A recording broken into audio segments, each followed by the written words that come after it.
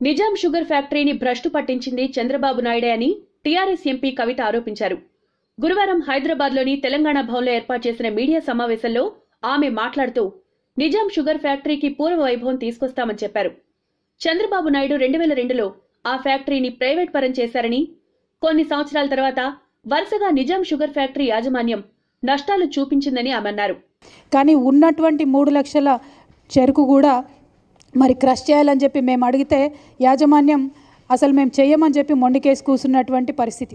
ఓ పక్క రైతులతో అగ్రిమెంట్ చేసుకొని ఇంకొక పక్క మేము చేయమని చెప్పినటువంటి సందర్భం. అప్పుడు ముఖ్యమంత్రి గారు ముందుకొచ్చి మూడు వందల నలభై రూపాయలు ఒక్కొక్క మెట్రిక్ టన్నుకి అదనంగా రైతులకు మేము ఇస్తామని చెప్పి రైతులను ఆదుకొని మరి పదకొండు కోట్ల ఇరవై ఆరు లక్షల రూపాయలు ఇచ్చి మరి మేము ఆనాడు క్రషింగ్ అయ్యేటట్టుగా చేసాం అంటే ఇవాళ చాలామంది మమ్మల్ని ప్రశ్నిస్తున్నారు. మీరు ఏం చేస్తున్నారు? ఏం చేస్తున్నారు? ఏం చేస్తున్నారు? అని కాబట్టే డీటెయిల్గా చెప్పాల్సినటువంటి అవసరం ఇవాళ మా మీద ఉన్నది. మొట్టమొదటి నిర్ణయం మేము ప్రభుత్వంలోకి రాగానే చేసినటువంటి నిర్ణయం.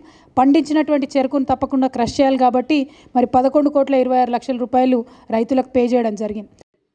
నిజాం షుగర్ కంపెనీని తెరిపించేందుకు తెలంగాణ ప్రభుత్వం కృషి చేస్తోందని దీనిపై కేంద్రం పైన ఒత్తిడి తెస్తున్నట్లు చెప్పారు. నిజాం షుగర్స్ అంశం బీఐఎఫ్ఆర్ పరిశీలనలో ఉందన్నారు. ఈ విషయంలో రైతులను విపక్షాలు తప్పుదో పట్టిస్తున్నాయని మండిపడ్డారు.